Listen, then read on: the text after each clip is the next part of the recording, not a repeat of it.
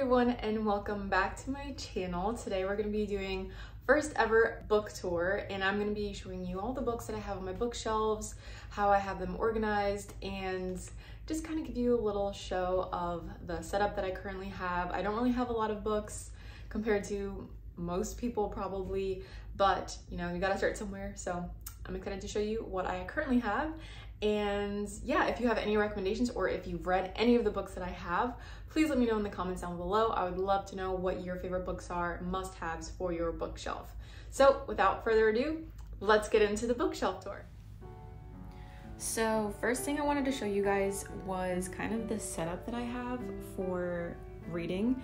So I have this Chaise Lounge that I got from Home Goods and then we have a heating blanket, which if you guys don't like to cuddle when you're reading, then ignore everything I'm saying. But if you do, you need a heating blanket. They're amazing. You can get them at Target or Amazon, and they make the best gifts as well. But you definitely need that. Um, I'm dog sitting right now, so I have a little dog under there. and then the bookshelves are all from IKEA. I have another one that I will be setting up shortly because this one is pretty much full. Um, but I did paint them. So they were black and I had them painted this really, really pretty baby pink. You can barely tell, they almost look white. They're really nice. And then um, the twinkle lights I got from Amazon. They have like different functionalities. They can like twinkle and fade out and do a bunch of stuff. And then this little setup is all from Home Goods as well. So let's get into the bookshelf, how I have everything organized. So pretty much everything is by genre.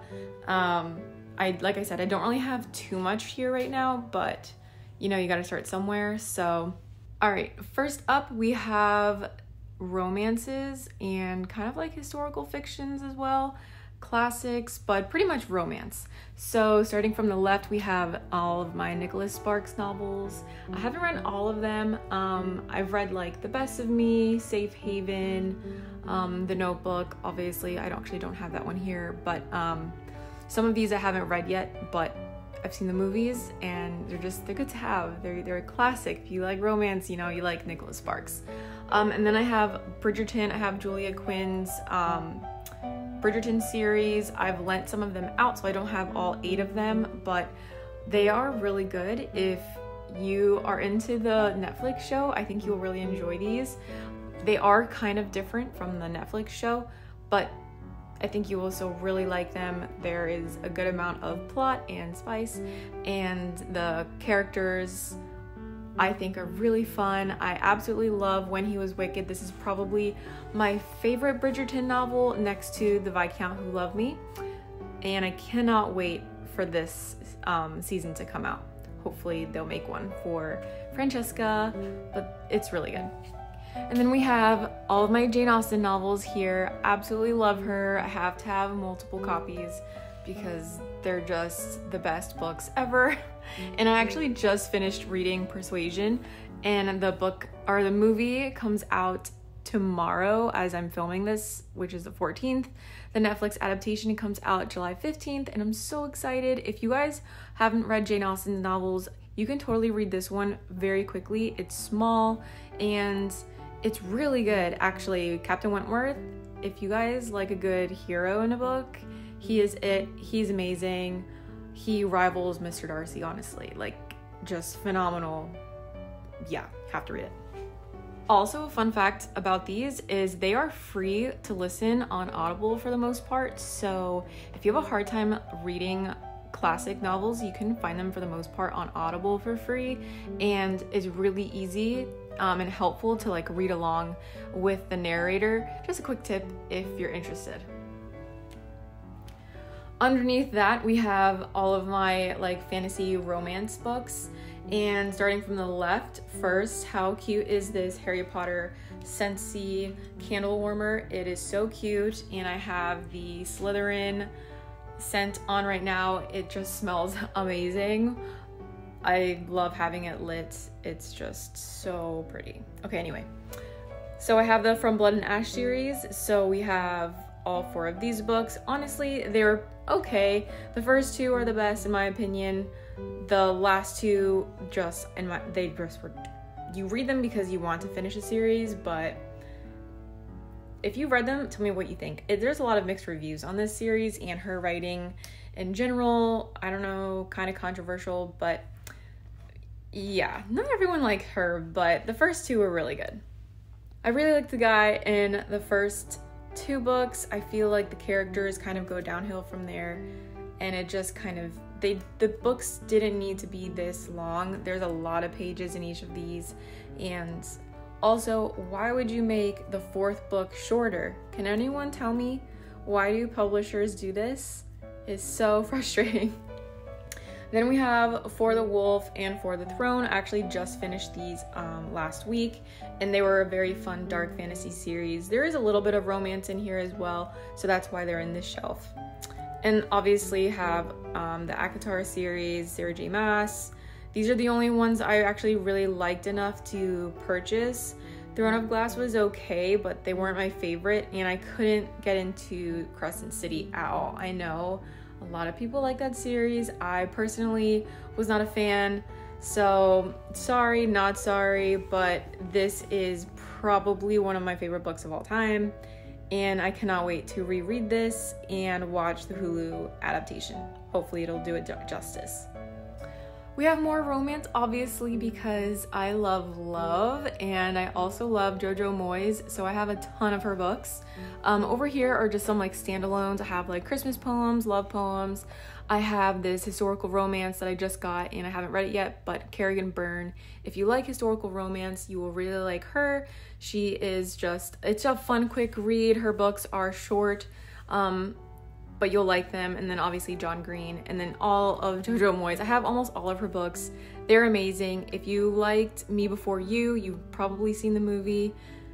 You will love her books. They're amazing. They are so heartfelt. You will probably cry in each of them. And then Crazy Rich Asians, another great series. Not a lot of people like the writing because there's a lot of, um, I guess, like text messages, emails, and the setup of the writing is kind of different, but I thought it was really fun and very unrealistic. But again, if you liked the movie Crazy Rich Asians, check it out. Let me know what you think. They're gonna be making a sequel, and I think it's worth reading, and also the cover is really cool.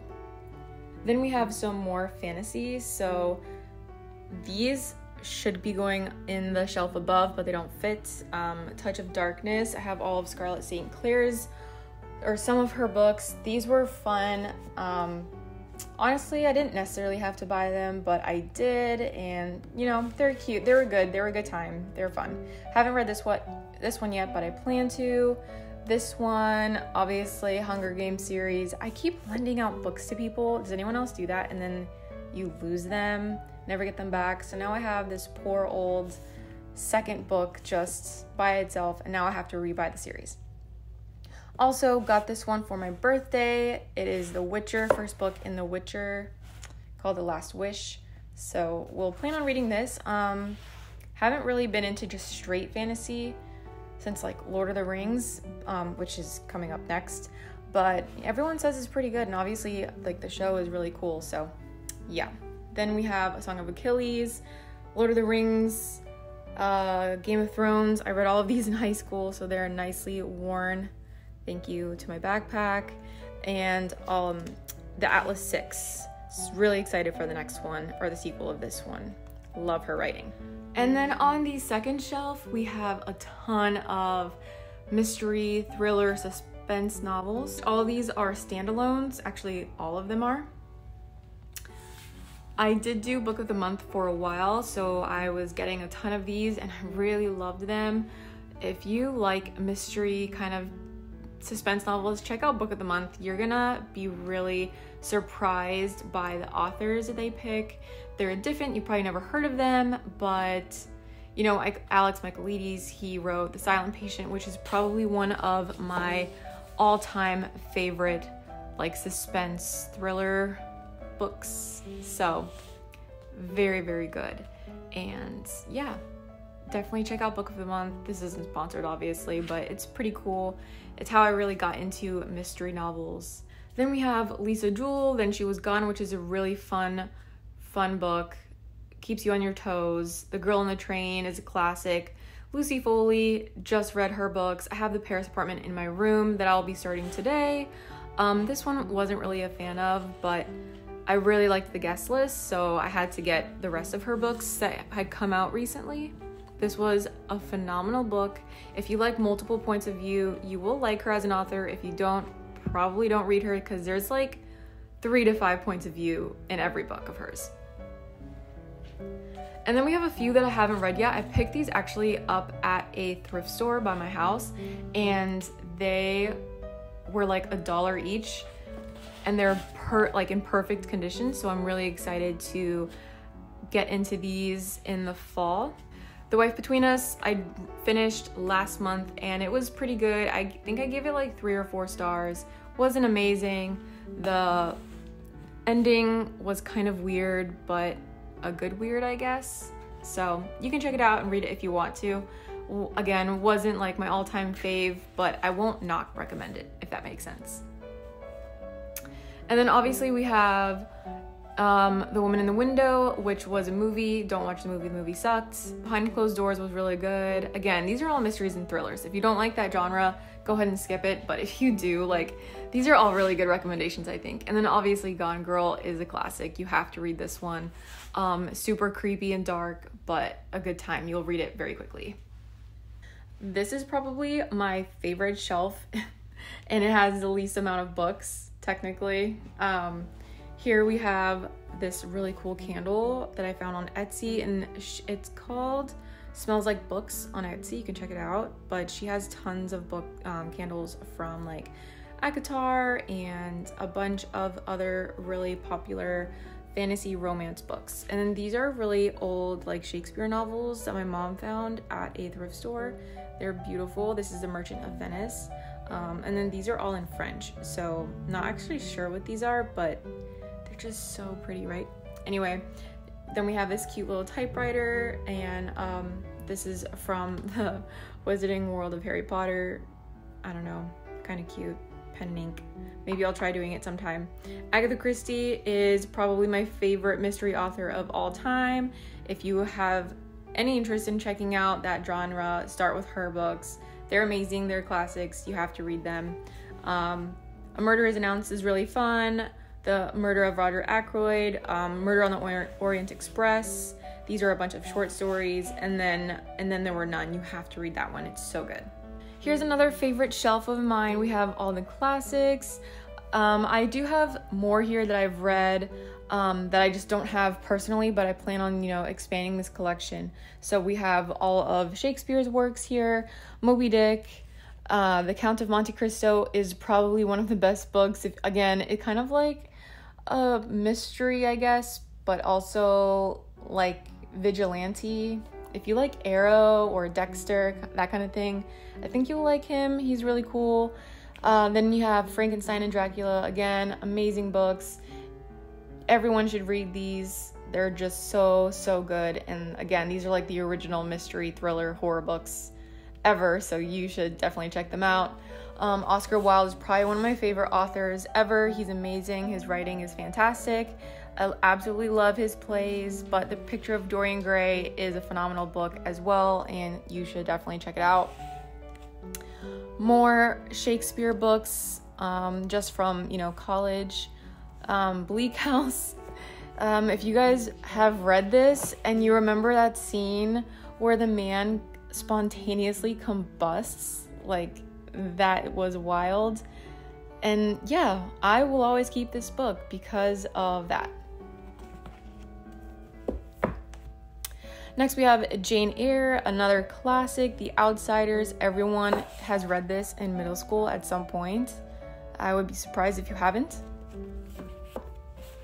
The Scarlet Letter, another classic. Some random books from college that I probably will never pick up again, but I have them. This one actually was pretty good. And then finally, we have just some standalone books, either nonfiction or just random literary fiction books that I have that were pretty good. Um, just some business books, How to Win Friends and Influence People. Everyone should read that. Um, some random standalone, like self love fiction books.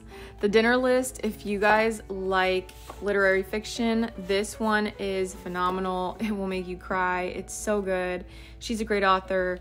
You should definitely check her out. They're very easy reads, they're not very um, big at all and you will love this. This one actually, if you could only have dinner with five people, either dead or alive, who would they be? That's essentially what this book is about. It is so good. You'll have a great time reading that one. Paris Library, I just finished reading recently as well, and it pulled at my heartstrings and made me cry almost every chapter. Loved it. Where the Crawdads Sing. I actually haven't read this one yet. I know everyone has, and the movie comes out again July 15th, so I'll probably have to read this before I watch it.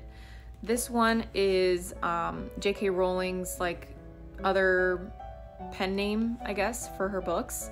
This one was pretty good. I haven't read any of the other ones. Not sure if I want to. Let me know if you think those other books are good or not.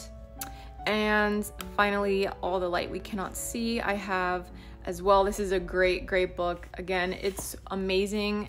It's one of those books that will just pull at your heartstrings. It's kind of like a historical fiction. Great book. Everyone should read this one. So that's pretty much all the books I have. Uh, obviously, I have a ton of books on my Kindle Unlimited, and I've gone to the library a ton, so I don't really have a lot of books. Again, I just want to keep ones that I would either reread or was really inspired by them or loved the covers because that makes a difference as well. So yep, that is all the books I have on my bookshelf so far, and I hope to be getting many more very soon. But that is gonna be it for this video. Let me know in the comments if you have anything similar, if you have any thoughts on any of the books that I have, um, or if you have recommendations, what should I add to my current collection? Thank you guys so much for watching. Be sure to give this video a thumbs up and don't forget to subscribe to my channel and I will see you in my next video. Bye!